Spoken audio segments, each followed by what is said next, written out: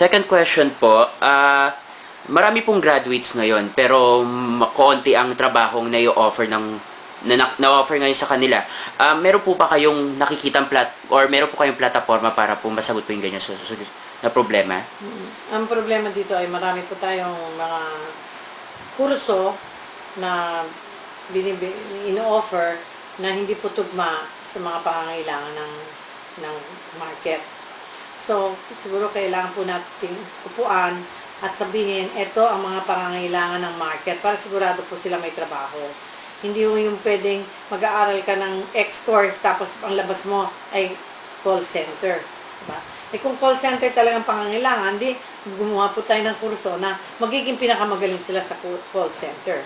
Ibig sabihin, tugma ang pinag-aaralan mo sa pangangailangan sa labas. Pangangailangan para makakuha ka ng trabaho. So, para ang sasabihin niya, job ready. We have to have courses na job ready ang ating mga estudyante, ang graduates. Ang nangyayari ngayon, eh, may graduates tayo, they are either uh, unemployed because they are not they have not studied the courses that are needed in the world. Okay po. Ah, third question po, ah anong pananaw niyo po sa issue po ng domestic violence? Ay, yung domestic violence, meron na po tayong mga batas na pwede kong magamit po ng mga ah, biktima po ng domestic violence. And ang domestic violence hindi lang po para sa babae, although karamihan babae, para din po sa mga lalaki. So, um, domestic violence for me is one of the problems na mahirap po nating pasukan dahil private po yan eh, sa bahay nangyayari. Pero dahil sa kadamihan po ng mga nasasaktan, ay kailangan mabigyan po sila ng lakas at yan ang ating batas na sila po ay makaka ah, ng kaso sa mga nananakit. At ang pananakit, hindi lang naman yan physical, meron din verbal abuse, at meron din pong pananakit sa bata. So, domestic violence is uh, already addressed by our laws. Kailangan lang malaman po ng mga nagiging biktima kung paano ito uh, gamitin. Fourth question po, gusto ko malaman po, ano pong position niyo sa issue po ng maternal health bill? Maternal health at reproductive health bill. Ang yung reproductive health, uh, naging very confusing po yan. Dahil ang akala po ng marami, or ng siguro simbahan, ay ito ay pro-abortion at hindi pro-life, di ba? So, kailangan po natin siguro sa bagong kongreso, i-define very clearly what you want for reproductive health. Kasi, ang words itself ng reproductive health ay dapat bigyan natin ng talagang kung anong ibig sabihin. Ibig sabihin, yung mga engaged in reproduction, ayan ang mga kababaihan, karamihan.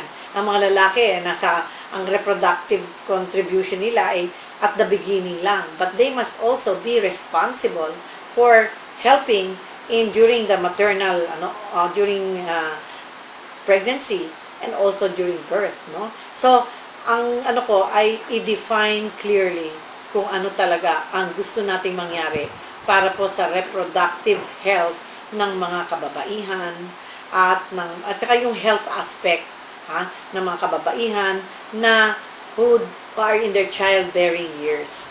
Apo. Ah, part po na plataforma niyo ang women empowerment. Sa inyo pong palagay, ah, nakamit na po ba natin ang talagang 100% gender equality dito sa Pilipinas? Hindi, alam mo naman, alam mo naman hindi pa. Kasi marami po mga kababaihan na halimbawa they do the same work as men and they don't receive the same pay. Ah, at secondly, marami ding mga opisina dyan na nagkakaroon ng gender, ah, what they call this, bias. Halimbawa, kung alam nilang married at mabubuntis, parang di nila type mag-hire kasi ano mawawala yan pag na ganun, di ba? So marami, marami pa, marami pa tayong dapat gawin para sa gender equality. At ako hindi I'm not so much for gender equality. I'm more for uh, uh, gender free. Must be gender free para kitang-kita mo lang kung anong kwalifikasyon ng tao. Hindi dahil babae o lalaki, no? Ah, na, na, na stereotype. So, for me, well, gender equality, gender free, that's what we are attaining, want to attain. At sana ay, halimbawa, mayroong isang um, lumang batas na ito na ang nanais ko sanang ah, bisitahin muli pagka sakaling ma- mapunta po ako sa Senado ay yung ah, punishment for infidelity. Yung lalaki sa batas ngayon ay kung siya po ang nangangaliwa, pag nahuli, ang hirap para mahuli at ang gaan lang ng parusa. Pero kung ang babae, napakabigat ng parusa for adultery, diba? concubinage and adultery, adultery.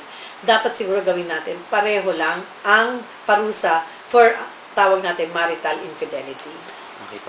Ah, may, ang question ko po, curious lang po ako, kasi saan niyo po nakuha yung term po na inangguro? Ah, yun ang binigay po sa akin na ah, titulo nung advertising agency na nag-handle sa akin ng 2007, ng Campaigns in Gray, na sila Yoli Ong. Galing po sa kanila yan, pinag-isipan nila, ano ba ako? Sa tingin nila, ako ay isang ina at guro din. So, doon ko nakuha yung inang guro na, na magaling naman na, na title kasi tugma din po yun sa aking pagkabuhay. Ah, last two questions na po tayo. Ah, Ma'am Sonia, gusto ko pong malaman kung sakaling maupo na po kayo bilang senadora po sa sa, pagkat- sa, by June po. Ah, gusto ko malaman ano po yung sa loob ng unang taon po nyo sa Senado. Meron na po ba kayong nasa isip na na panukala na gusto nyo i- ipas, ipasa? Meron ako mga sa isip pero hindi ko pa alam kung ah, paano ko to gagawin. Kaya ang unang-una ko pong balak gawin ay reviewin halimbawa ang lahat ng batas kasi napakadami ng batas. Ang batas nandyan na siguro naaalikabukan na at tingnan natin kung meron dyan mga batas na kailangan natin implement. No? O kailangan pondohan. Kamukha ng study now pay later law. Yan ay ah, batas na yan. Pero kung wala pong kukuha na papondohan yan, hindi ho aandar yung batas na yan. Nung panahon ni Senator Rocco, yan po ang pinondohan niya. Kung hindi po napopondohan ngayon, siguro ibabalik ko yon. Yung mga study now, pay later law, na yung mga estudyante, pagka nasa college or university, maaari po silang ah, gumamit itong study now, pay later. Makakapag-aral sila at pag may trabaho na sila, saka sila magbabayad. Yon ang konsepto nun. So, ang nais ko munang gawin ay reviewin, bisitahin ang mga batas na nariyan, na nariyan. At kung walang mga batas yan, halimbawa, for teacher's quality of life, improving the teacher's quality of life, pag-aalaga sa mga guro, yun siguro, gagawa tayo ng batas para dyan. Sa, saan nyo po ba balak na committee po sa Senado na sumama? Ay, yung pong may kaalaman ako, halimbawa, siguro sa education, na Committee on Education, at hindi ko pa alam kung ano pa yung mga ibang committee na maaari kasi alam ko 24 senators, ilang committee yung pagkahati-hatian o usually binibigay nila sa mga malakas na partido, ganun, hindi ko alam. Pero sana ay nandyan ako sa Education Committee. Last question po, ma'am. Ah, sa palagay niyo po, al- saan po dapat mag-focus ang, ang mga susunod na uupong administrasyon sa sa issue po ng bayan? Ano po yung kailangan nilang solusyonan agad? Ang aming sinasabi ngayon sa kampanya ay walang kung walang corrupt, walang mahirap. Kaya naisa na nating bigyan ng pansin kung ano ang mga halimbawa ah, gawi na mad- madali lang makanakaw.